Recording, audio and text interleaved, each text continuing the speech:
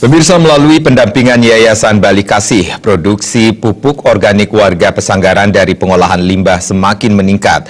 Untuk menambah kapasitas tempat pengolahan serta tambahan mesin produksi, warga Banjar Pesanggaran berharap mendapat CSR lanjutan dari Pertamina TBBM Pesanggaran.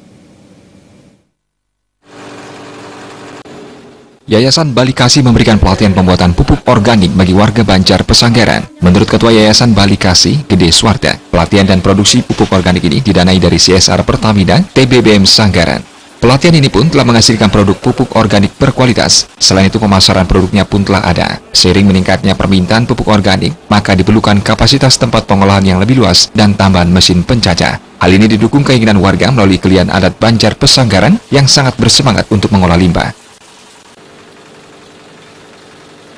Kita mengajarkan kepada masyarakat untuk pembuatan pupuk kompos.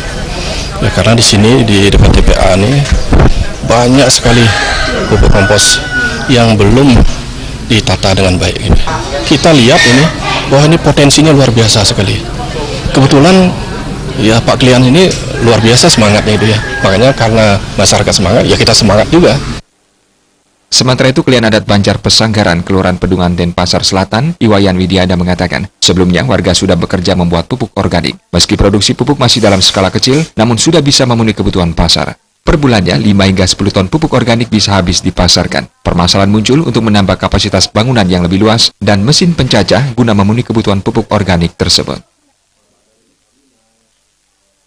Alah, saya rasa kalau ini kan terus terang aja masalah uh, kapasitas, masalah tempat kan gitu bangunan analisis ini kan kita baru mulai dalam hal yang skala kecil. Nanti kalau semakin besar misalnya fasilitas. Nah inilah sangat kami harapkan bukan dari Pertamina saja CSR dari perusahaan-perusahaan yang ada di wilayah kami Operation Head Pertamina TBBM Sanggaran, Eri Wibowo sangat mengapresiasi kegiatan warga Pesanggaran mengolah limbah. Selanjutnya, Pertamina tidak hanya sekedar memberi bantuan, tetapi juga akan mengawal prosesnya sampai berhasil mandiri. Harapannya ke depan dengan pasar yang semakin berkembang, pupuk organik warga Pesanggaran juga memiliki merek. Tidak hanya sekedar memberi, tapi tetap kita juga mengawal prosesnya sampai nanti suatu saat ada titik keberhasilan ya.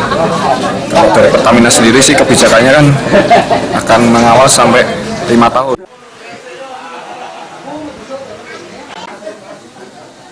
Indra Wijaya Bali